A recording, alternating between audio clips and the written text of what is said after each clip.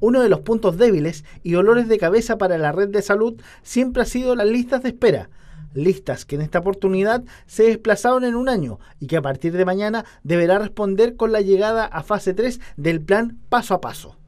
Nosotros esperábamos un paso 3, pero eso no significa una mayor responsabilidad, porque estando en fase 3 nosotros tenemos que empezar a, reactivar toda eh, nuestra red para ir dando respuesta a aquellos pacientes que de alguna forma eh, están en nuestras listas de espera.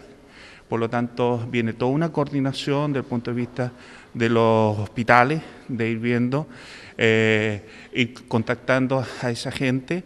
eh, y además ir manteniendo la cantidad de camas que hoy día tenemos disponible para dar respuesta a la demanda que hoy día tenemos. Desde el Hospital Regional, de momento descartan que lleguen pacientes desde el norte del país para apoyar la crisis que están viviendo en estos momentos en la región metropolitana. La verdad es que nosotros integramos la red, somos una red a nivel nacional, la red integrada, ¿no es cierto?, COVID-19. Ahora nosotros tenemos como red, somos una red pequeña, tenemos algunas fragilidades también eh, locales, eh, recordar que nuestra disponibilidad también es bastante ajustada, por lo tanto nosotros, eh, si bien es cierto, integramos la red, vemos poco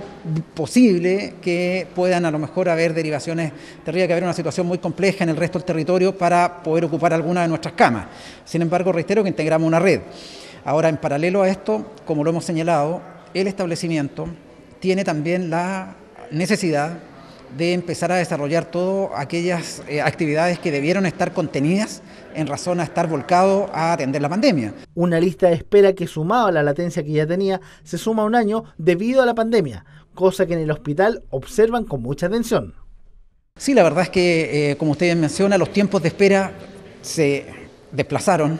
y también eh, la oportunidad diagnóstica también estuvo contenida, dado que al haber menor consulta en especialidades también hubo menor oportunidad de desarrollar exámenes y de precisamente identificar eh, eh, posibles casos de patología que pueda afectar a la población. Por lo tanto, toda esa actividad electiva es la que nuestro establecimiento está programando, ir normalizando, ir regularizando en razón de la colaboración que tenemos que tener todos como